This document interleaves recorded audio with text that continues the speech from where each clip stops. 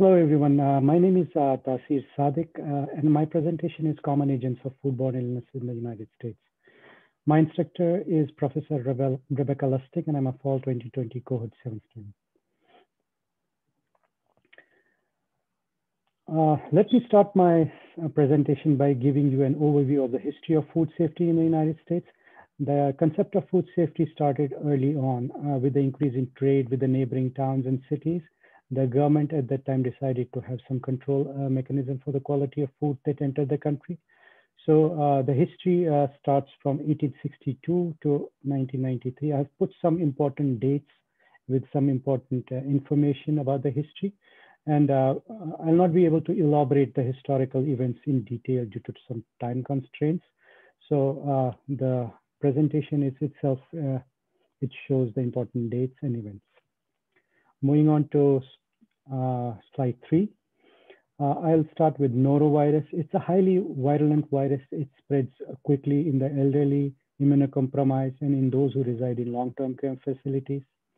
Uh, going on to hepatitis A.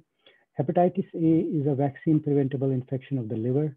It spreads fecal-orally contaminated surfaces. If you touch the contaminated surfaces that have been touched by an infected person, uh, the symptoms are discoloration of the eye, uh, yellowish discoloration of the eye, dark urine, nausea, vomiting, and itching all over the body.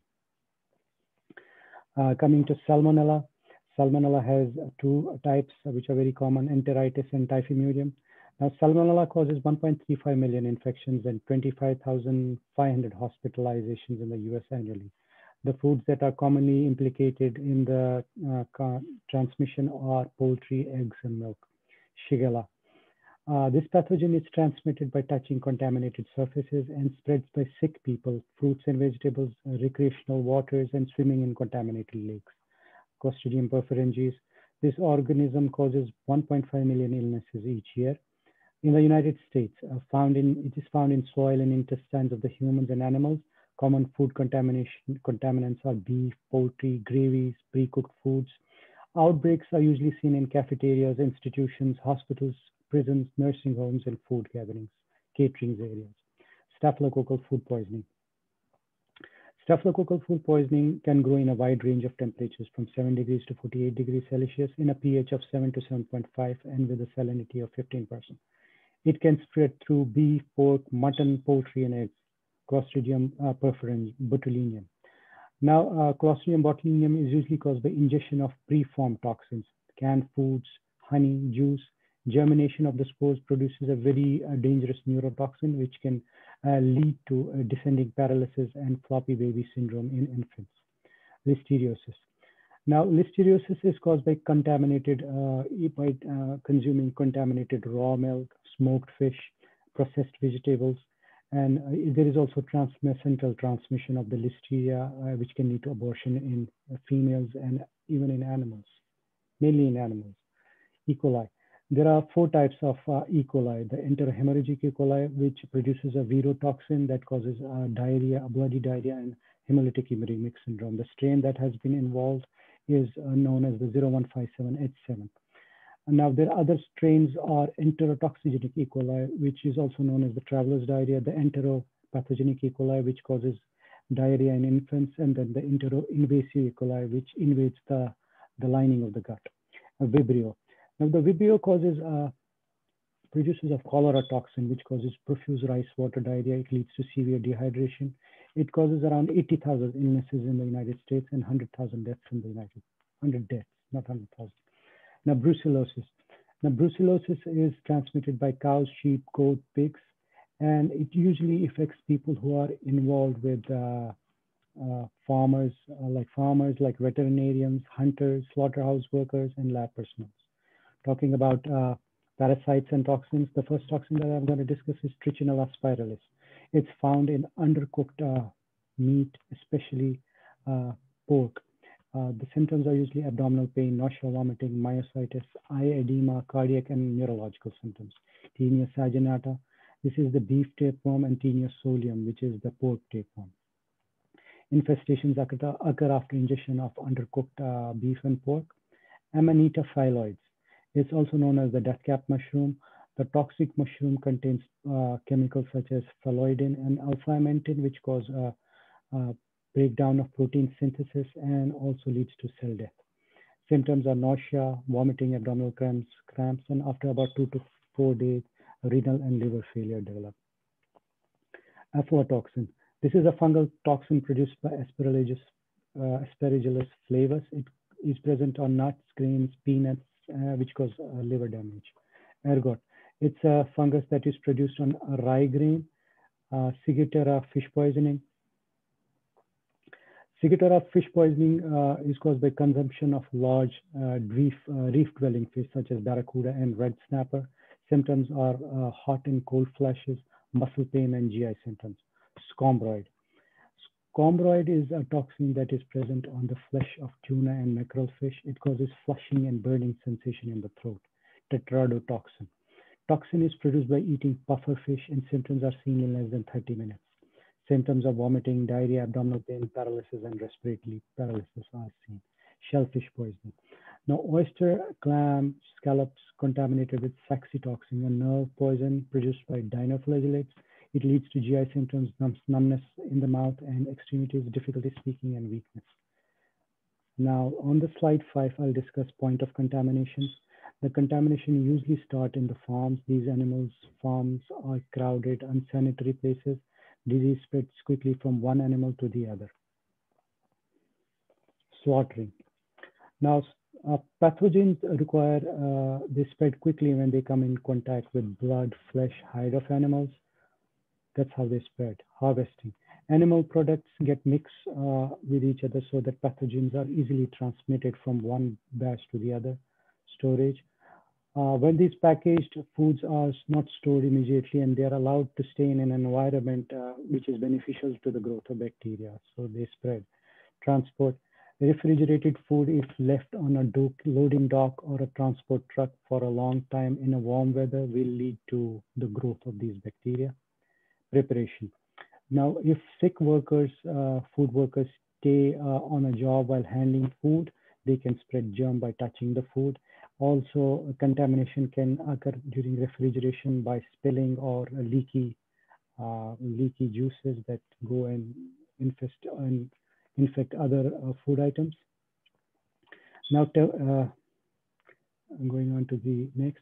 Temperature and refrigeration. Foods like meat, poultry, seafood, eggs that require refrigeration should never be allowed to sit uh, in room temperature for more than two hours.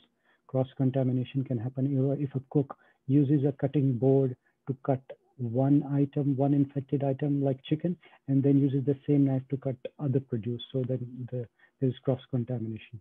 Cleaning and hand washing.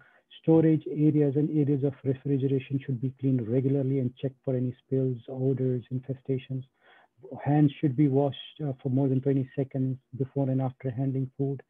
Canned food label of ingredients and expiry dates. Canned food should be checked for any leakage, any punctures, any swelling, rusting. The label of ingredients should be checked before, uh, best before dates, expiry dates, as well as the label of ingredients should be checked. And if the freshness of the food is questionable, it should be thrown away. Uh, voluntary disclosure of health.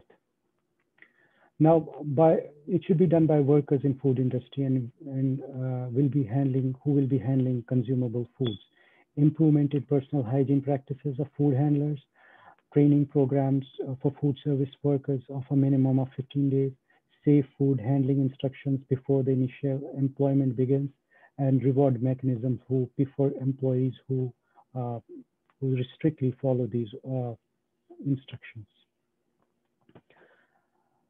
Uh, Now, uh, on this slide, I am showing uh, a pathogen food combination depending on the cost of illness and quality of life lost in years. More than 70% of the foodborne infection is caused by Campylobacter, uh, is due to uh, poultry. So 70% of this is due to poultry. So now Salmonella dominates the pathogen ranking, but it spread, it spread over all these foods. Toxoplasma is the second leading cause of death due to foodborne illnesses, according to CDC, but there has not been any attributable, attributable risk to any outbreak. Listeria is ranked third in outbreak, and but it has shown a declining trend since 2000. And the most common food that is involved is cheese. Uh, this slide shows uh, the ranking of foods in public health impact across pathogens. So uh, poultry is ranked first because of the disease uh, burden caused by both Salmonella and Campylobacter. Although complex foods cause twice as many illnesses as poultry, but still poultry, because of the two organisms involved, it is number one. Now pork is at number three, and it's mainly due to highly uncertain attribution of toxoplasma and produces at number four because it's likely highly associated with salmonella and norovirus and many other viruses. And after that, you can see beef, dairy, daily food, and seafood. In this uh, food, uh, in this slide, I'm going to show you all the outbreaks that happened in 2020. Uh, so the first three are the E. coli, E. coli strain 1, 2, and 3. Now, uh, you can see in slide in the E. coli outbreak one, uh, both Tanimura and romaine lettuce, which were tested by the Michigan Department of Agriculture, all the packages of the romaine lettuce were recalled. Uh, then in strain two, E. coli two, the, um, there was unknown source; it was not uh, found out. And in strain three, uh, the outbreak is still under investigation. Then Listeria monocytogenes is caused by deli meats, Salmonella, three species caused by wood mushrooms, peaches, and onions. Cyclospora has been implicated in baggage salads, and Listeria was uh, enoki mushrooms, and E. coli again with clover sprouts. sprouts. Now, uh, food break uh, illness outbreak response. Now, the health, uh, the first uh, thing that uh, kicks in, the first various mechanisms that kick in, the first one is the local health department. The healthcare providers first identify the cause of illness by doing an appropriate clinical and lab evaluation. Then the Department of Public Health, they gather officials who then identify and control the outbreak and prevent more people from getting sick. The United States Food and Drug Administration, a coordinated outbreak response and evaluation group, that is the core group, was created to manage uh, the outbreak surveillance and post-response activities related to incidents. FDA uh, brought together expertise in medicine, public health, and science to coordinate its effort to stop and prevent foodborne illnesses. Uh, and they work in collaboration with CDC, FDA, and other state agencies. The team reviews sampling, results, past inspections, distribution, and sourcing information. Uh, Center for Disease Control and Prevention. Uh, they serve as a lead coordinator to detect uh, to detect outbreaks, define its size, and identify the source of uh, the disease of the outbreak. It has three main uh, roles, quickly detect outbreaks, gather evidence, linking the outbreak to a likely food source, and communicate the findings uh, to the consumer and the retailers. Uh, United States Department of Agriculture, it protects the public by ensuring the safety of meat, poultry, and processed egg products. And uh, FoodNet is a project uh, among FSIS, CDC, and FDA to identify control and prevent foodborne diseases. It usually uh, serves as a sentinel site in various states to provide accurate estimates of the burden and source of specific foodborne diseases. And that's the conclusion of uh, my uh, presentation. I hope you understood and uh, we're able to understand uh, the foodborne illness, uh, the common agents. Thanks a lot and have a good day. Thank you.